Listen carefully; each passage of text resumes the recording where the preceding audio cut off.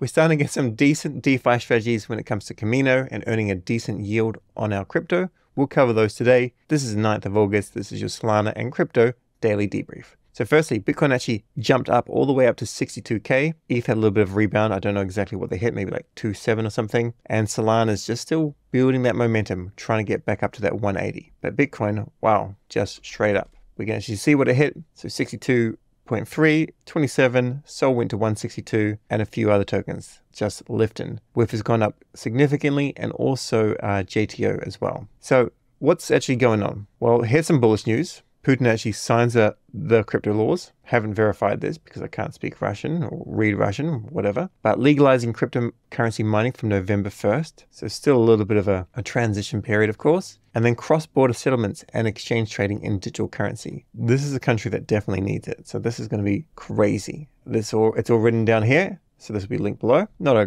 big thread or a big post, but something you may want to check out. Other news, just normal news. BlackRock uh, are buying more Bitcoin. These guys have the money that just will take over everything. You know, they buy houses. You know, they're a for-profit organization not exactly the nicest people necessarily in the world, but regardless, the buying Bitcoin price will go up. And then, just as a reminder, I mentioned this the other week, but uh, when large investment banks like Morgan Stanley greenlight their 15,000 advisors to sell Bitcoin ETFs, it's only a matter of time before it gets traction. So this is definitely probably going to be the biggest, uh, I guess not the biggest cycle in terms of return on investment, but the biggest cycle in terms of how many new people will, will come in. The Bitcoin bounce has mostly been shorts covering positions in their futures market. So as opposed to just, you know, obviously more people coming in and buying spot, which is of course not going to happen. It's essentially just the short is just having to close shorts or reduce their short because the price is just going up. And as soon as they stop shorting, of course, the price rebounds. Now, if we have a look at the BTC return on investment chart from Benjamin Cowen, we can see this is where we are. We can see market cycle three, market cycle four. So this is 2021, this is 2017. So 2017, of course, the earlier you are, the bigger your return on investment, but still pretty decent here. However, here, we're still where we are. I, I think we still keep on going. Remember, I mentioned a couple of days ago how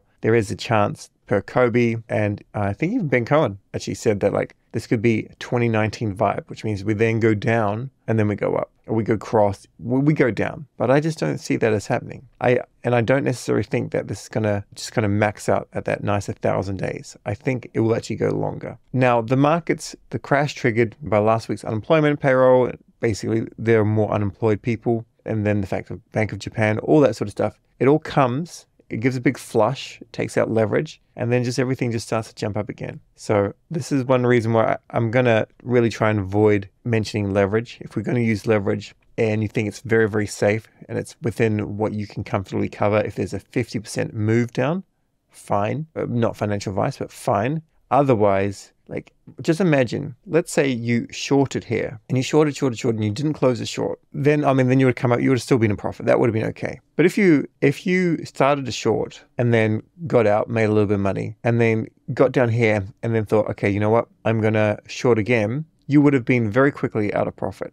Like this, like at the end of the cycle, you can just short. You can just short, short, short. And if you do, you'll normally do fine, right? And, and so many people are shorting, so people make the shorters make a lot of money. And at the beginning of the bull cycle, you can just long and generally you can do fine. You don't long with leverage, but you know, you long and then you're going to do fine. You pay quite a bit in funding though, so you have to make sure that you're earning more than what you're paying in funding. But in situations like this, with everything, they get these hard bounces, not NVIDIA, but you get these hard bounces. They come up and down, and then you can be screwed both ways if you just misjudge it. That's why longing, shorting, and leverage, it's a bit scary. Now, Alex also says, even though we've kind of rebounded, we should still get that 50 basis points cut in the coming meeting regardless, and that will, of course, prop up the markets even further. Stablecoin update Tether has just printed more USDT so up it goes. And FTX and Alameda will repay $12.7 billion to FTX creditors. They still have some rubbish tokens there. I don't know what these tokens are. I'm not calling them all rubbish, but FTT is clearly rubbish. I don't even understand why it has value. Pure speculation that somehow FTX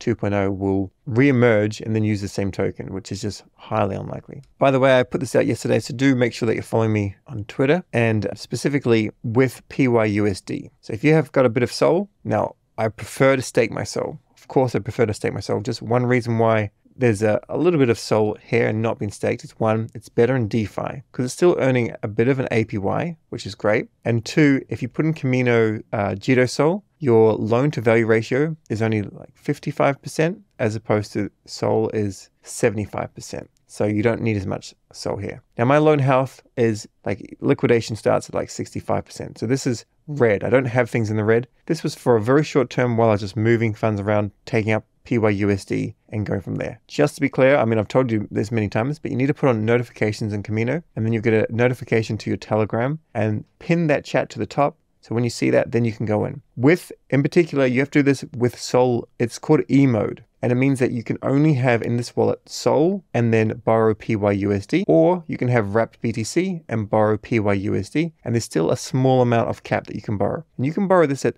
1.4% when the going rate's probably 10 or more percent quite often it's 20%. And then if you want USDC, you just go and swap it for USDC. You basically lose nothing, like 0.1%. And as long as it stays lower, it's very profitable. And if you want to, you can put in some Sol, borrow this, and then go and deposit this into another wallet to earn 20%. And then with that 20%, just claim it.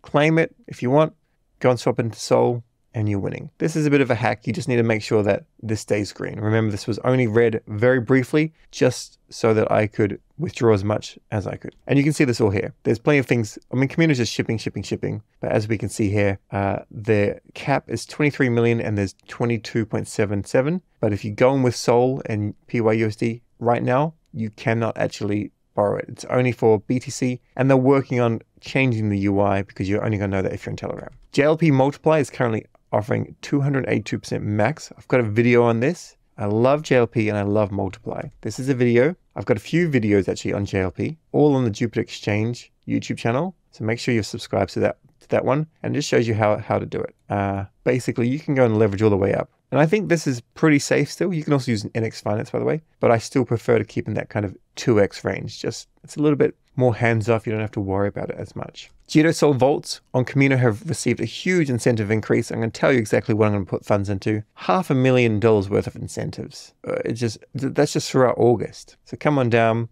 Sol and Sol Orca 110,000 JTO and Sol and Sol Meteora 27,500 JTO. I would much rather go into Meteora and get those MET points. I would stay away from JTO and Sol just due to high and permanent loss factor unless we were pretty confident we would get more returns out of this. And if you had like a decent bag, maybe you want to go, or if you had a smaller bag and you just want to go in with a small amount just to practice a little bit. I don't know what this is with, so we'll have to quickly check. Also, JitoSol PYUSD, that's pretty decent as well. So let's go have a quick look back here and into liquidity. Hopefully we just have like one tab which shows us everything. There it is. Okay, we can see this here, JitoSol and Sol. If you're noticing that Kamino's website's a little bit slow. I've noticed that as well. I'm not sure why exactly, but I mean, they are the most popular dApp in, in DeFi. So maybe it's just, they're just getting overloaded. So I'm not going to be able to show you them all right now, annoyingly. My internet speed's very decently fast. We'll do one more refresh and then we'll just move on. Okay, either way, go check that out. The other thing, which I can't show you, but I can show you the picture, uh, Y2 Kappa from Kamino is essentially just showing the loan dashboard. So one fantastic thing is the UI is getting cleaner and cleaner and cleaner. So you can see exactly all the information so that you don't get liquidated.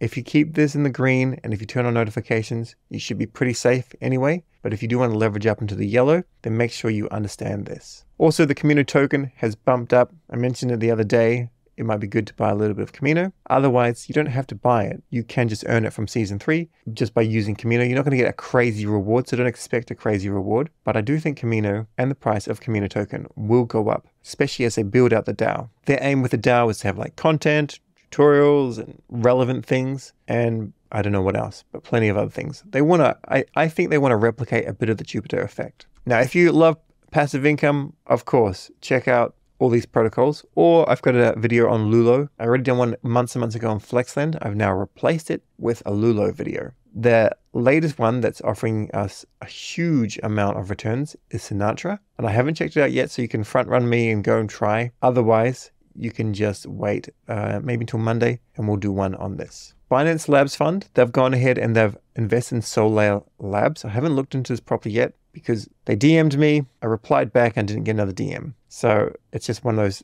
ongoing tasks that I need to go through. Just putting this on your radar though. They also have incentives, 10K and SSOL incentives over the next month. I was going to show you what that kind of return is on Kamino, but Kamino is not loading. So in the meantime, check it out yourself. Now, next bit news, the Bonk Dragon attribute is now claimable at bonkdragon.com. It can be obtained by logging 1 million Bonk in Bonk rewards powered by T-Dog Foundation for 12 months. So I mentioned this the other day as well.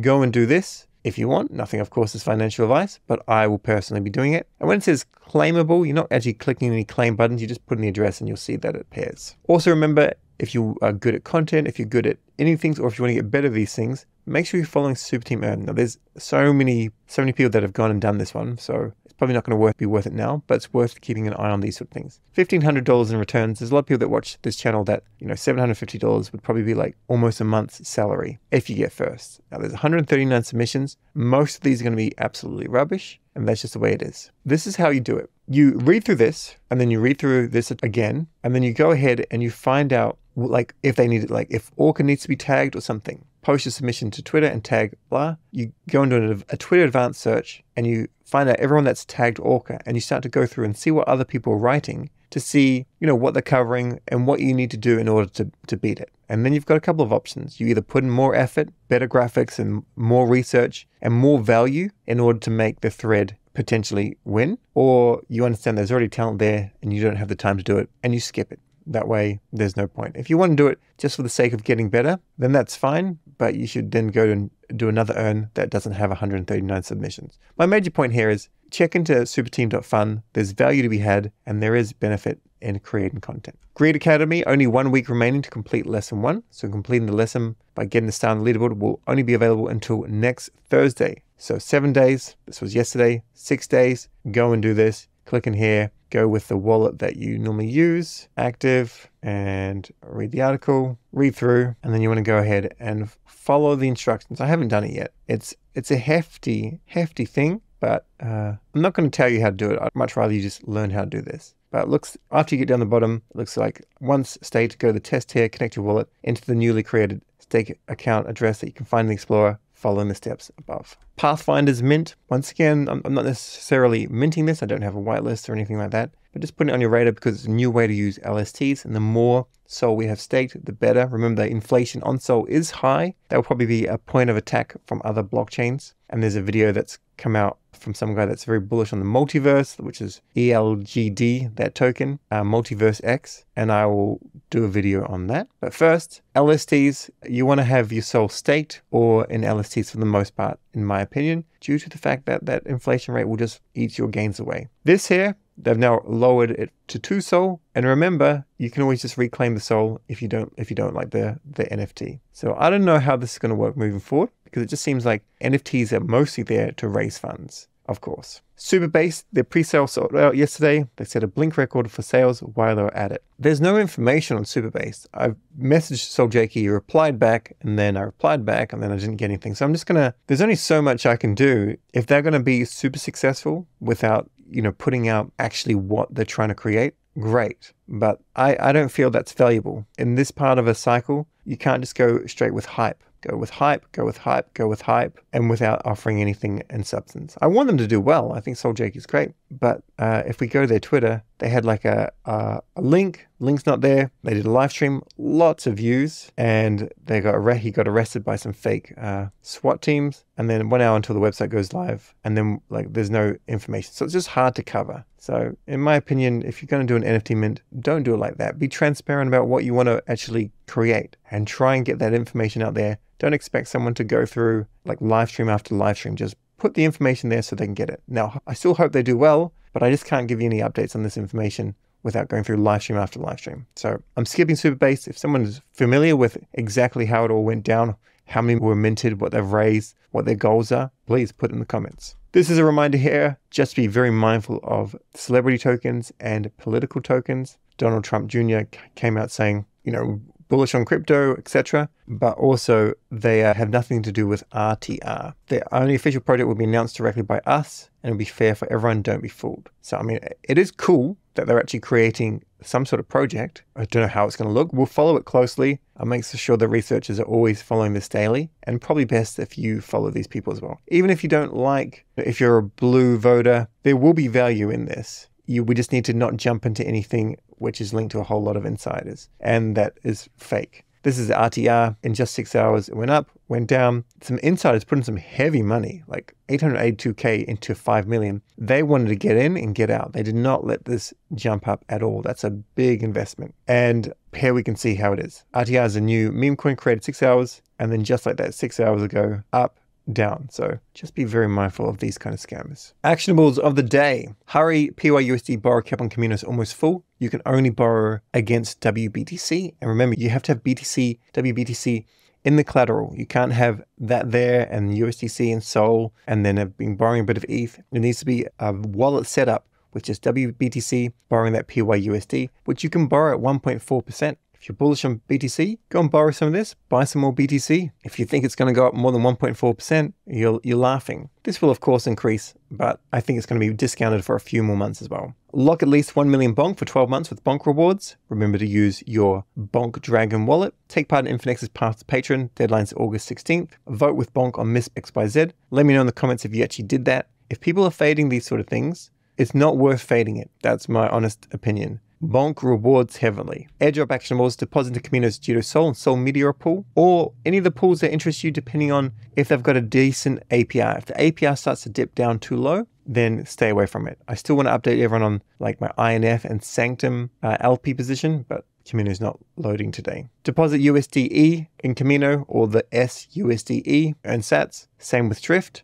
Also, Magic Eden's coming soon. For NFT traders, I'm staying away from that. Just NFTs are really hard. And of course, staking bonk with bonkrewards.com, put in that 1 million bonk for 12 months, and you start to build your bonk dragon. And that's all for the actionables. Remember, I'm putting out plenty of other videos on multiple subjects. I've got another video out on Lulo, go check that out. Also, I've got a video on slippage with your Solflare. Make sure you understand slippage, and I'll be putting out more stuff as well.